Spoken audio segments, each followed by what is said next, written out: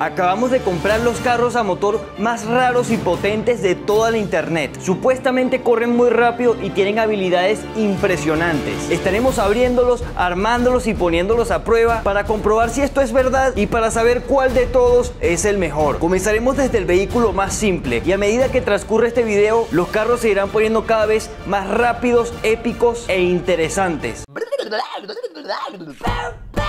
Estamos ante un reto muy complicado en este momento porque tenemos que armar un carro súper futurista y tecnológico. Esta cosa tiene demasiadas piezas, se ve que es muy complicado de armar. Y esto es porque tiene muchas funciones muy muy raras con las que te vas a quedar impresionado. Y mientras vemos esto, te tengo una gran idea para que te diviertas después de ver este video. Puedes intentar hablar con personas al azar de cualquier parte del mundo a través de esta aplicación que se llama Project Z, que te permite hacer amigos que les gusten las mismas cosas que a ti, ver memes y videos juntos, entrar a salas de chat grupales y nos gustaría hablar contigo y compartir memes juntos. Así que si quieres hacer esto, solo tienes que descargar la app y registrarte utilizando nuestro código random para que te puedas unir a nuestro círculo que se llama Familia Random. Ya miles de ustedes se han suscrito a este grupo y los que están por allá siempre se enteran de cuál es el próximo video que vamos a grabar y de cosas secretas. Te voy a dejar el link en la descripción y en un comentario fijado para que vayas y la descargues. Nos vemos por allá. Armar esta cosa está siendo bastante complicado ya llevamos un buen rato aquí leyendo las instrucciones, nos hemos equivocado, ha tocado armar, desarmar, pero después de muchísimo tiempo hemos logrado armar esta máquina. Les presento el supercarro robot del futuro. ¡Oh! Brother, esto quedó demasiado épico. Según el comercial, este robot puede hacer cosas muy increíbles, así que llegó la hora de llevarlo a su límite. Les voy a confesar una cosa, estoy un poco nervioso, porque Javier pasó como 5 horas armando esta cosa, pero no tenemos ni idea de si lo logró armar bien. Si puso algún cable mal, alguna pieza mal, simplemente no va a funcionar. Así que probemos si esta cosa de verdad funciona. Llegó la hora de la verdad. Vamos a prenderlo para ver. Eh, eh, eh. Hizo otro sonido allí. ¡Uy! ¡Sí funciona! ¡Sí funciona! Mira cómo mueve su bracito. A ver, vamos a apretarle un dedo a Joel. Oye, tiene fuerza. Lo que voy a hacer ahora mismo es intentar levantar esta botella de agua con la grúa. Ahí te voy, botella de agua. Cerramos. Ok, estamos ante un importante reto. Queremos comprobar si este robot es capaz de darle agua a un ser humano. Así que probémoslo. Qué impresionante la fuerza que tiene esta cosa. Es capaz de levantar un vaso de agua. Ahí va. Esto no se puede quedar así. Vamos con el intento número 2. Hay que darle su agüita a Javier. Creo que le partí los dientes o algo. ¡Ay, ya! ya va, ya va, no salió, no salió. Ahí va. ¡Ay! Como pueden notar, Manille tiene demasiado miedo a este robot, nos preocupa, así que vamos a intentar que este robot se gane la confianza de Maní nuevamente. Tenemos un plan para hacer esto, vamos a hacer que el robot agarre algo de comer que esté rico y que se lo dé en la boquita a Maní, así es como se va a ganar la confianza de ella. Mira, te lo va a dar, te lo va a dar. Uy, uy, uy, uy, se descontrola el robot. Ahí va, ahí va, Maní, toma el huesito. Uy, uy, lo suelta, lo suelto, lo suelto. ¡Son amigos! ¡Se aman! Creemos que este robot es perfecto para pedirle matrimonio a la mujer que amas. Vamos a probar si sirve. ¡Ay! ¡Le está pidiendo matrimonio! ¡Ay, qué emoción!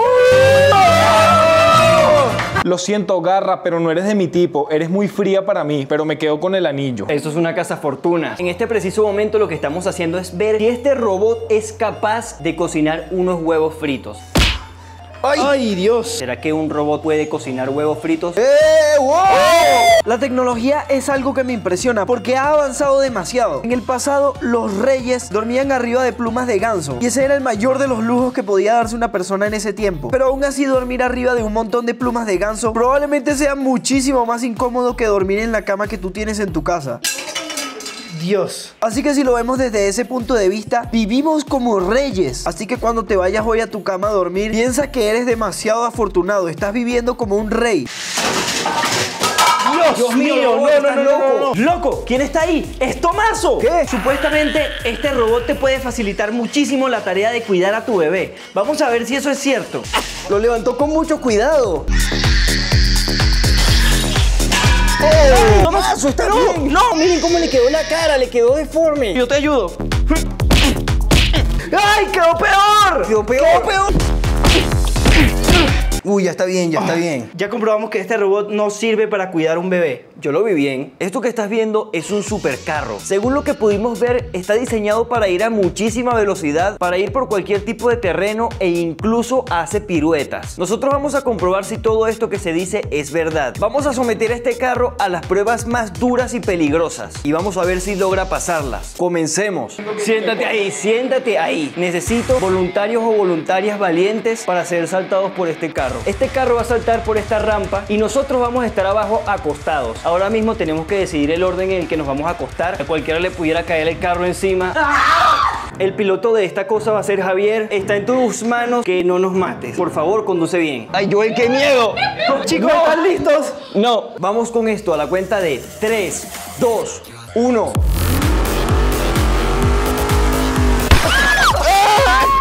Necesitamos un cambio de conductor. Javier no está logrando hacer esto, así que vengo yo, el verdadero piloto. Afortunadamente traje a mis amigos a mi casa para poderlos utilizar como conejillos de India. Me están mirando con un poco de odio, pero así me quieren. Va en 3, 2, 1.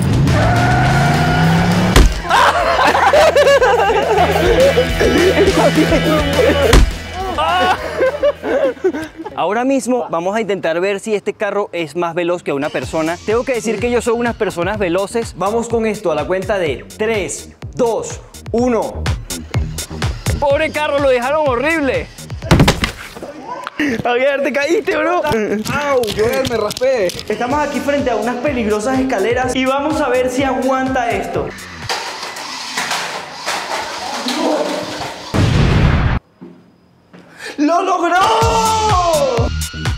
Este vehículo que estás viendo en este preciso momento te va a explotar la cabeza. Porque este carro no solo puede ir por el piso, sino que también puede ir por las paredes y por el techo. Si este carro es capaz de hacer lo que promete, voy a quedar muy impresionado. Así que vamos a ver si esto es verdad. Bruno, enciéndelo. Ok, aquí está en modo de manejo normal. Ahora mismo estoy a punto de iniciar el modo antigravedad. Este modo le permite ir por las paredes y por el techo según lo que dice.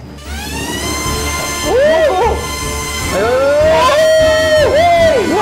Es como una cucaracha. Seguramente te estás preguntando cómo hace este carro para andar por las paredes y por el techo. No es magia, todo tiene una explicación. Lo que hace este carro es que utiliza estas hélices como si fuera un helicóptero, pero en lugar de impulsarlo hacia arriba, lo impulsa hacia abajo. De esta forma mantiene la adhesión al piso, al techo o a cualquier superficie. Los neumáticos están hechos de un polímero muy adhesivo que le permite quedarse adherido a los lugares y no irse hacia los lados.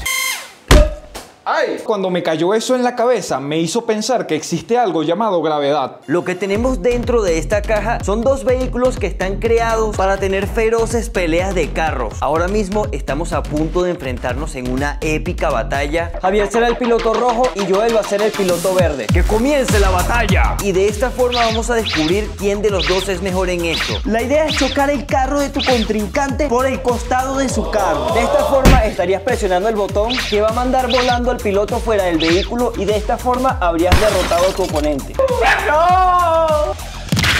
Este carro que tenemos por acá es un tanque de guerra todoterreno anfibio. Lo que quiere decir esto es que puede ir por la tierra, pero también por el agua. Esto es una locura porque no solo es un carro, también es un barco. La verdad, si este carro logra hacer lo que promete, va a ser increíble. Lo primero que vamos a hacer es ver si este tanque puede ir por el agua. ¡Wow! Parece que se le da súper bien. No tiene ningún problema para hacerlo. Pero saben que nos gusta llevar las cosas al límite. Así que vamos a comprobar su resistencia. ¿Será que aguanta un bombazo humano? El tanque dejó de responder, pensamos que se había dañado. Creo que el trasero de Javier fue más poderoso que este carrito. Pero luego de que se secó, volvió a reaccionar. Se viene duelo de titanes. Tanque híbrido versus supercarro rústico. ¿Quién ganará? Hagan sus apuestas. Ahora mismo tenemos estos dos carros amarrados por una cuerda y cuando termine la cuenta de tres, ambos carros van a acelerar a fondo y el que hable más duro será el ganador. Aquí se va a demostrar qué carro tiene más fuerza y potencia. Comencemos con esto. ¿Cuál crees que va a ganar? ¿El carro azul o el carro rojo? El rojo. Voy 100 dólares al azul, tú. El rojo va a ganar. El azul, pero... Azul. Tenemos una clara mayoría que va por el azul. Vamos con esto a la cuenta de 3, 2, 1. ¡Impresionante! Está ganando el rojo, está ganando el rojo. ¡Loco, loco! Mira, mira, mira. ¡Wow! ¡Qué remontada! ¡Qué remontada épica del tanque híbrido! ¡Esto es una locura!